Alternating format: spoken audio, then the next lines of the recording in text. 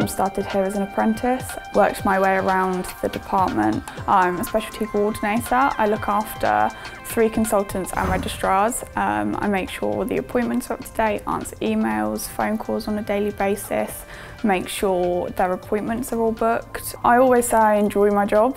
There's not a day that I actually think, oh, I've got to go to work today. I actually enjoy what I do. I enjoy interacting with the patients.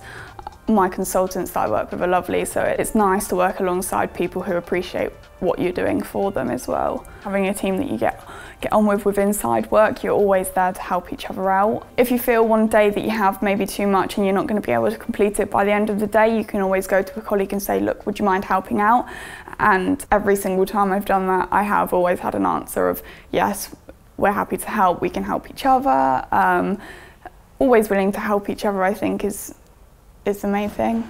My initial goal when I first started here was to work my way up throughout the NHS and, and see where I end up really. I would, I would like to go higher, maybe team leader role, something along those lines, but uh, at the moment I'm happy with what I'm doing, but that is my, that was my initial goal when I first started here. Patient contact is absolutely wonderful.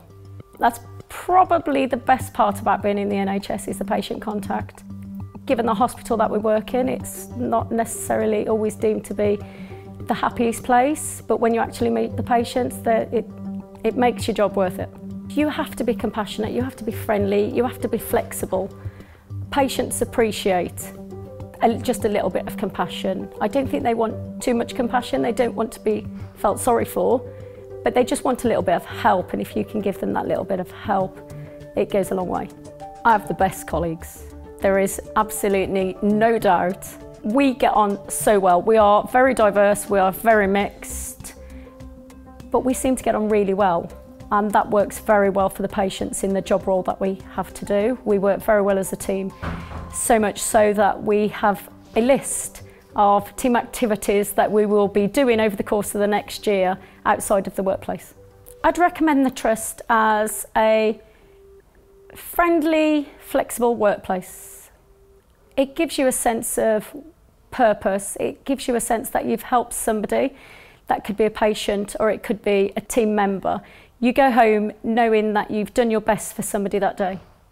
I like getting up in the morning and not worrying about what I come to work. I like coming to work knowing that I've got some satisfaction. It makes the job absolutely worth every single minute of coming in. Our job is basically to ensure that all of these patients are seen by the right people in the right places and that they they leave knowing that they've received good treatment. A few weeks ago, there was a lady who came in and she misplaced her glasses.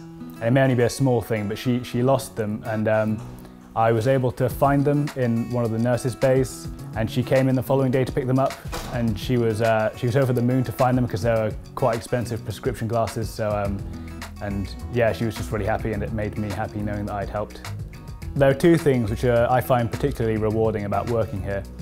One of them is working in, in a team and delivering the, the sort of the care the hospital gives as a big admin department.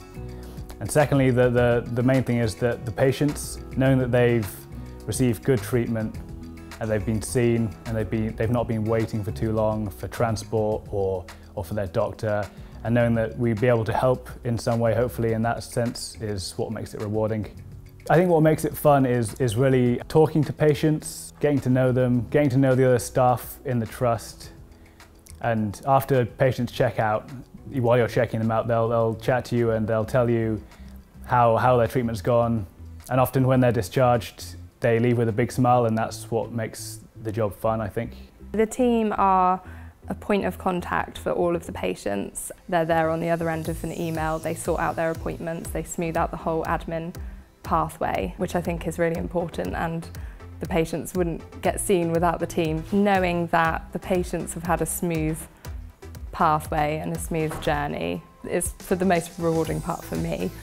The special skills that are required for being that point of contact for the patients is sensitivity and understanding and knowing that the people who might be phoning you, the patients who are phoning you or emailing you, yep, they're going through a really difficult time in their lives and just having that sensitivity to make everything as smooth as possible for them. Found working here in the Cancer Centre to be really flexible with hours.